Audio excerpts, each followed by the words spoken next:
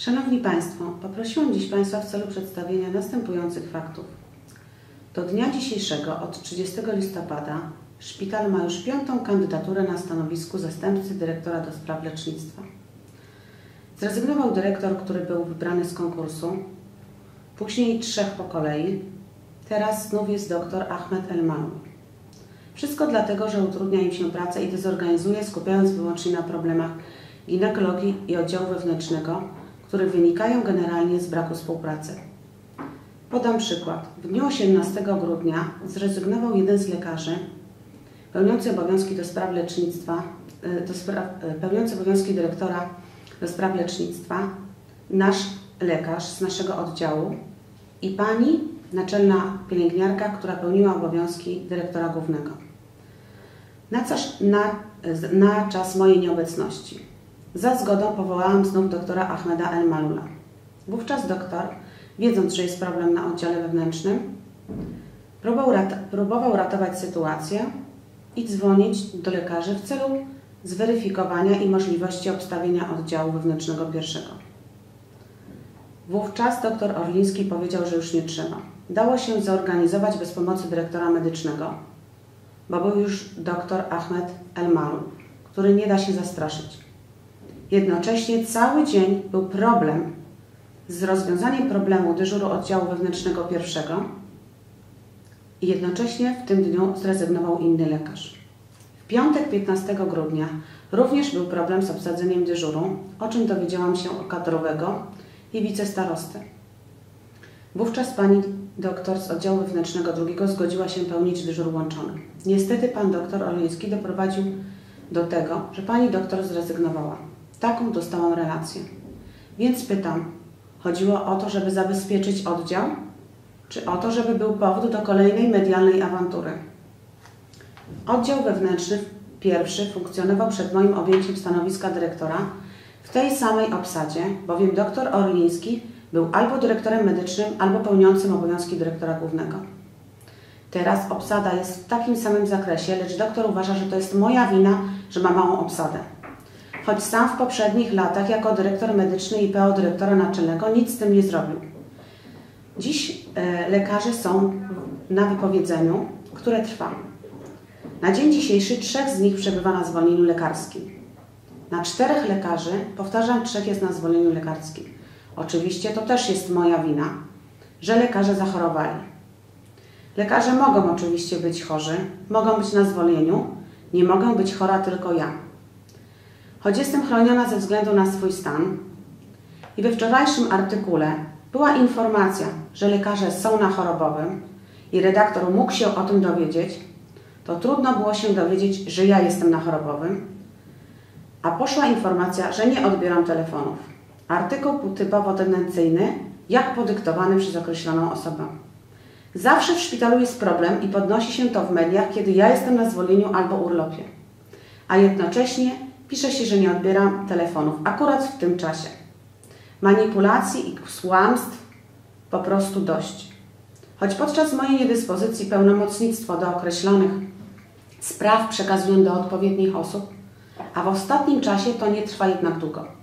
Ponieważ są osoby w tym szpitalu, które nie mogą pogodzić się z porażką utraty stanowisk i skutecznie robią wszystko, aby utrudnić funkcjonowanie szpitala, a zwłaszcza osób delegowanych do mojego zastępstwa. Podczas wczorajszej rozmowy ze starostą dr Orliński zażądał, aby zwolniono mnie z pracy i odwołano z funkcji dyrektora. Wówczas lekarze i on będą pracować i będzie spokój. Przy tej samej obsadzie pytanie. Dzisiaj jest to niemożliwe, bo jestem ja, ale jeżeli mnie nie będzie, to będzie już możliwe i będzie spokój?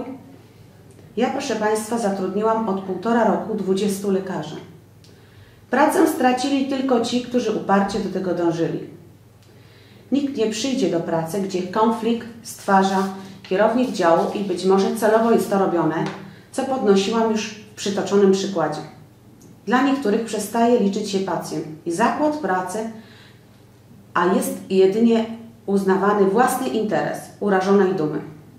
Jeżeli chodzi o inwestycje i rozwój szpitala, zrobiłam więcej niż moi poprzednicy za 10 lat. Jeżeli jeden lub czterech lekarzy, czy trzech zatrudnionych na 88 jest niezadowolonych z mojej pracy i zarządzania, to proszę, aby Państwo to sami ocenili. W związku z sytuacją na oddziale wewnętrznym pierwszym przyjęcia do oddziału będą ograniczone, ale aż sytuacja będzie na tyle bezpieczna, żeby wszystkie łóżka były wykorzystane. Te decyzje podejmą osoby, które są do tego kompetentne i uprawomocnione. Przykładowo podam, w większym powiecie od Włoszczowskiego w szpitalu liczba łóżek na oddziale wewnętrznym wynosi 50. W ZOS Włoszczowa jest 76. Na pierwszym 44, na drugim 32. Pacjentów wczoraj na oddziale było 37.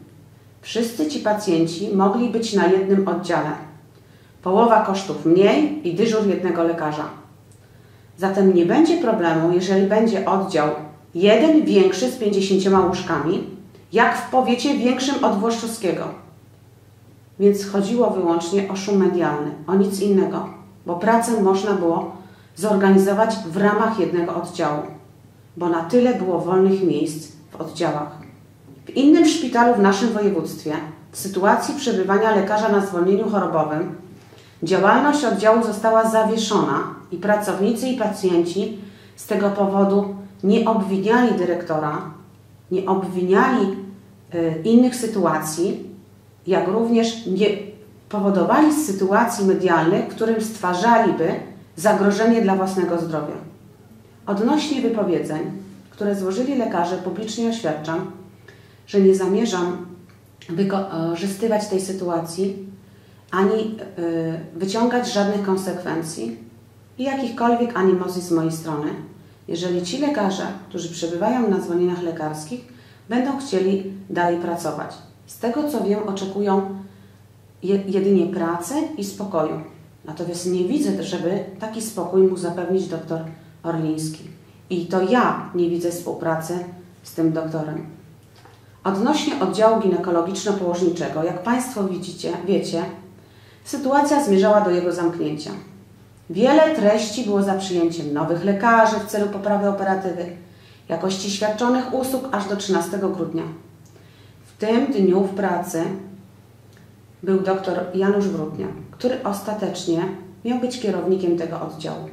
Po rozmowie z załogą oddziału przekazał mi informację, że Państwo odmówili współpracy, jak również, że Pani dotychczasowa kierownik oddziału ginekologicznego położniczego nie będzie go zastępować, o taką złożył jej propozycję. Nie było żadnego zainteresowania współpracą, jak również poprawą funkcjonowania oddziału, jaką zaproponował dr Janusz Wrutniak. A w czasie, kiedy on tu pracował, oddział zmniejszył stratę poprzez zwiększenie przychodów przy tych samych kosztach stałych. Zainteresowanie pacjentek było duże, jak również duża operatywa, dużo więcej porodów. Wielokrotnie mówiono, aby rozmawiać z doktorem, żeby wrócił. Takie rozmowy prowadziłam z nim od dłuższego czasu. Chciałam przyjąć osobę, która już tu się sprawdziła wśród pacjentek. Proszę Państwa, jak wygląda dziś sytuacja? Liczba porodów w listopadzie 14, w grudniu 4, zabiegów 0. E, nie mówię to o zabiegach cień cesarskich, bo takie były. Liczba pacjentek w listopadzie 45, w grudniu 16. Do czego, proszę Państwa, się to sprowadza? To jest niedopuszczalne i marnowanie publicznych środków. W takiej sytuacji, w momencie, kiedy dziś Pani kierownik rezygnuje z kierowania oddziałem po rezygnacji doktora Wrutniaka, nie zostaje mi nic innego, jeżeli nie podejmą dalej współpracy do zlikwidowania tego oddziału i takich decyzji skierowania do Rady Powiatu czy Zarządu. Jeżeli pracownicy nie są nastawieni na pracę w tym oddziale, jak to podnosili na sesjach w obliczu ostatniej sytuacji, to jaka jest inna alternatywa? Sądziłam, że ostatnią alternatywą będzie Janusz Wrutniak, bo wielokrotnie o nim się mówiło i każdy upatrywał, że jeżeli przyjdzie, to zmieni sytuację oddziału ginekologiczno-położniczego. Najwyższy czas w końcu powiedzieć dość i koniec, albo co z tym zrobić. Jeżeli mamy oddział utrzymać, to proszę o informację, kto w takim razie pokryje koszty. Prosiłam o plan naprawczy. Nic nie dostałam w zakresie propozycji rozwoju tego oddziału. Za to wpłynęło pismo o podwyżki. Pytanie z czego? Z tego, co wypracują inne oddziały? Możliwe jest tylko w sytuacji nadwyżki tego oddziału, a nie sytuacji, kiedy przychód nie pokrywa wynagrodzeń. Proszę Państwa, nie dam się nikomu zastraszyć ani szantażować. Nie będę też negocjować z takimi ludźmi. To, co zrobiłam w tym szpitalu, nie zrobiłam dla siebie, ponieważ w pobliżu mojego miejsca zamieszkania mam pięć szpitali, do których w razie potrzeby będę mogła się udać. Wiem, że przez to, co robię w tym szpitalu, jestem niewygodnym tłem dla tych, co nic nie zrobili i nic ich nie obchodziło, ani rozwój tego szpitala, ani jakość świadczonych usług. Mimo wszystko chciałabym bardzo podziękować tym pracownikom, którzy cały czas mi pomagali i sami szukali obsady do swoich oddziałów, którzy wspierali inicjatywy rozwoju tego szpitala o nowe zakresy usług, którzy uczestniczyli w realizacji projektów inwestycyjnych, jakościowych, które mimo nastawienia niektórych poprzednich dyrektorów udało się zrealizować. I dziś ten szpital jest nowocześniejszy. Wiele razy słyszałam, że to, co dziś zrobiłam, jest niepotrzebne i nie ma sensu. Proszę Państwa, w takiej sytuacji proszę wytłumaczyć pacjentom, że hospicjum, które jest, jest niepotrzebne, że ten oddział był niepotrzebny i należy go zlikwidować, że lądowisko, które jest i niekiedy pogotowie ratuje ludziom w, yy, chwilach, jest niepotrzebne. Proszę powiedzieć, że niepotrzebny jest SOR, proszę powiedzieć, że niepotrzebna jest wymiana sprzętu, że niepotrzebnie realizowane były zalecenia sanepidu, że niepotrzebny był nowy stół operacyjny, że niepotrzebne było utrzymanie poradni, które były zagrożone i wiele jeszcze innych rzeczy. Jeżeli Państwo oczekujecie zmiany, zmiany takiej, która była, to wystarczy spojrzeć na to, co było, a będziecie wiedzieli, jak będzie wyglądał szpital. Tą informację kieruję do Państwa z uwagi na to, że w sytuacji, kiedy zarząd został postawiony, ja albo doktor Orliński i jego oddział, pragnę Państwu przedstawić sytuację ze swojej strony. Spodziewam się, że w czwartek na zarządzie sytuacja rozstrzygnie się co do mojej osoby, ale wcale się tego, proszę Państwa, nie obawiam. Zrobiłam tu bardzo wiele rzeczy. Ilekroć ktoś będzie patrzył na hospicjum, SOR czy lądowisko, będzie wiedział, że to ja zrobiłam. To wszystko, co chciałam Państwu dziś powiedzieć. Dziękuję za przybycie i liczę na wierne odzwierciedlenie mojej wypowiedzi. Dziękuję bardzo.